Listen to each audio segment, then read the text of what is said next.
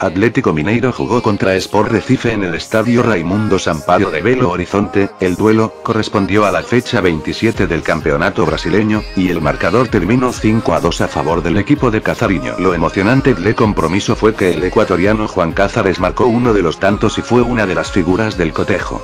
Vinicio Angulo, marcó otro golazo bajo la dirección de Diego Maradona, con la camiseta del Dorados en una nueva jornada. Ener Valencia, estuvo presente como titular en la victoria por dos goles a cero que logró Tigres, en la casa del Querétaro por una nueva fecha en la Liga MX. El ecuatoriano arrancó como titular y fue reemplazado al iniciar la segunda parte, donde llegaron los goles del equipo felino. Ener había marcado hace pocos días atrás en la Copa MX, y por eso, el Tuca Ferretti volvió a confiar en él.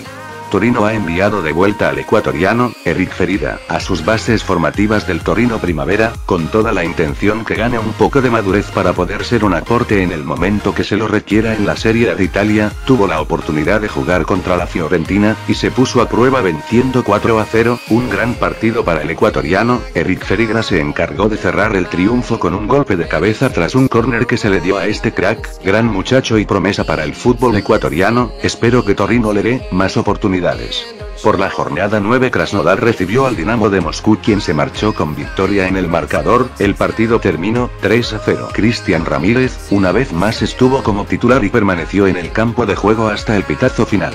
Afianzado como titular y figura en el Club de Revolución de la MLS, ahora el ecuatoriano Cristian Penilla obtuvo un nuevo logro, ya que es el elegido para la portada del juego FIFA 19, de EA Sports en su versión para la mayor League Soccer de Estados Unidos. El cuadro americano mostró en redes sociales al ex Barcelona, con la copia del juego. Gran momento de jugadores ecuatorianos en las diferentes ligas del mundo. Si te gusta el fútbol y los deportes te invito a pasar por este canal, cracks nos vemos en el siguiente video.